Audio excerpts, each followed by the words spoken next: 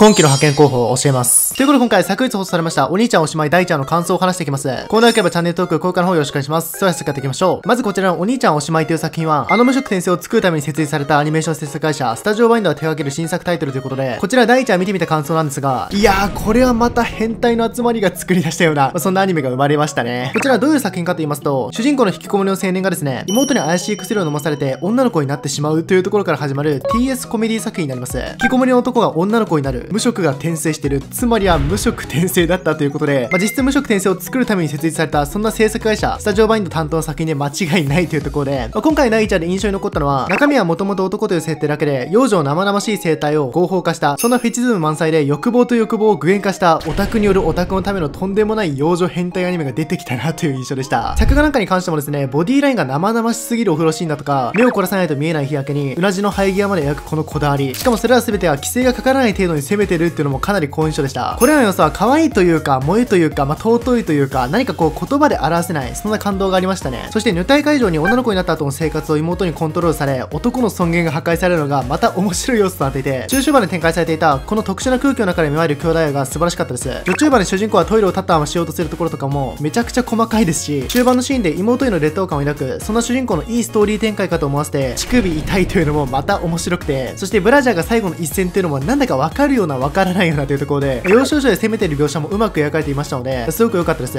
あと、リコリコを彷彿とさせるようなスカートをめくってパンツを見る構図、それ流行ってんの？というね、まあ、様々な描写でこだわりも感じられまして、いや、すごく良かったですね。そして今回オープニングテーマとエンディングテーマの方も公開されていたんですが、いや、こちらもですね、めちゃくちゃ良かったですね。特にエンディングの映像がヌルヌル動きすぎていて、最高に痺れました。まあ、PV のクオリティもかなり良さげで、放送前から期待はしていたんですが、その期待を大きく超えてくる。その作画のクオリティで正直ですね、本当に驚かされました。こちら TS コメディ作品、まあ日常作品ということで、ストーリー性の深みなんかに関してはそこまでないかなと思うんですが、なんだかこう見ていてほっこりするような、そしてコメディ要素としても楽しめる、そういった作品というところで、こちらかなり期待できるんじゃないでしょうか。ということで今回お兄ちゃんおしまい大ちゃんの感想を話してきました。かなり引き込まれる描写の多いアニメ出てきたなということで、皆さんの感想などもあればコメントで教えてください。今度よければチャンネル登録、高評価の方よろしくお願いします。それではまた次回の動画でお会いしましょう。バイバイ。